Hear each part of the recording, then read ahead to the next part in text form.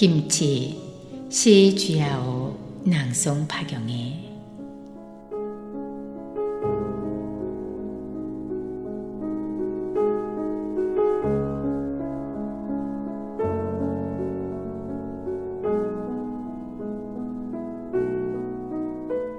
처음 나는 혼자 푸른 하늘을 보며 꿈을 꾸었지.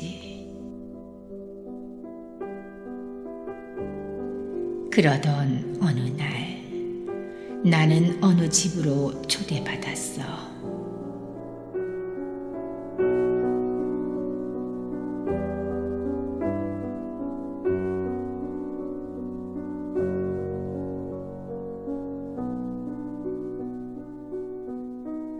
주인은 소금을 마구 뿌렸어. 처음엔 발버둥치다 몸을 웅크렸어.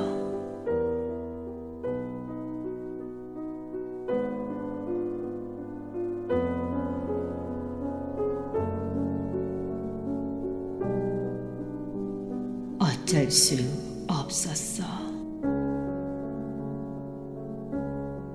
그냥 천천히 받아들이면서 스며드는 것을 알았어.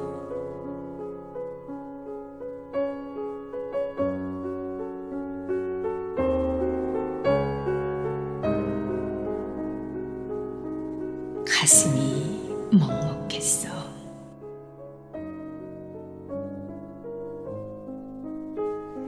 나에게 친구들이 다가왔어.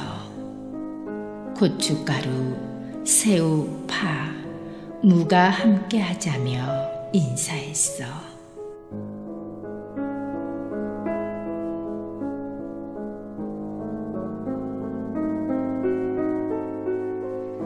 난 그들과 함께 하면서 처음엔 아주 아팠어. 아주 많이.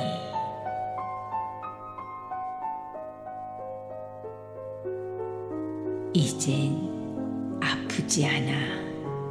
함께 꿈꾸는 법을 배웠거든.